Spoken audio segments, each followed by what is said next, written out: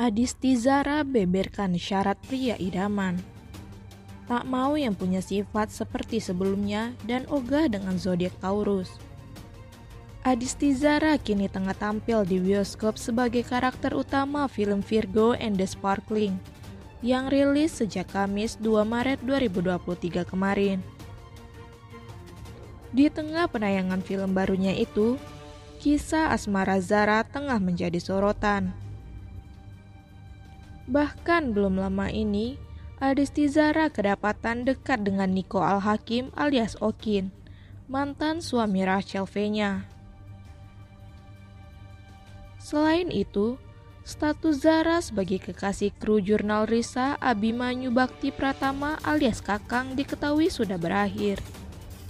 Tampil sebagai tamu di salah satu kanal YouTube, Adisti Zara membeberkan kriteria pria idaman yang menurutnya layak untuk menjadi sang kekasih. Rupanya, ia memiliki beberapa syarat yang bisa dibilang tak mudah. Salah satu hal yang menjadi perhatian Zara dalam hal menentukan pria pendampingnya adalah sifatnya yang harus berbeda dari pasangan-pasangan sebelumnya.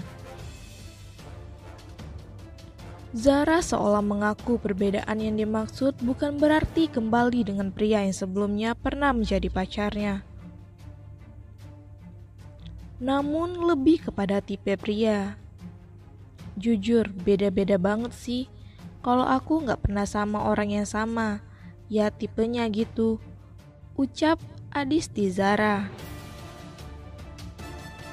Namun begitu, Zara mengaku bahwa ia sangat menghindari memiliki kekasih yang memiliki zodiak Taurus. Diketahui, kakang kru jurnal Risa memiliki zodiak yang ia sebutkan. Zara selalu beda-beda zodiak, cuma agak nggak mau lagi sama Taurus sih, ungkap aktris 19 tahun ini. Selain bakatnya yang mumpuni sebagai aktris, Adisti Zara dikenal dengan hubungan asmaranya yang cukup menghebohkan. Salah satunya adalah ketika ia kedapatan berhubungan dengan Okin hingga momen mesra mereka tersebar.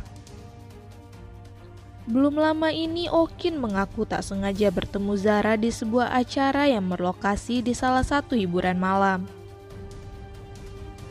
Keakraban mereka menimbulkan spekulasi keduanya berpacaran kembali.